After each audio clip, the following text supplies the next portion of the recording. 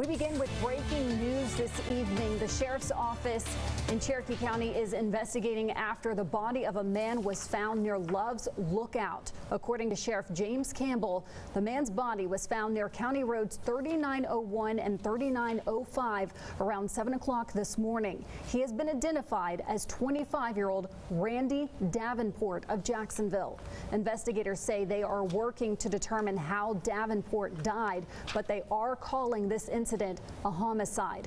We'll have more information about this case tonight on KETK News at 10.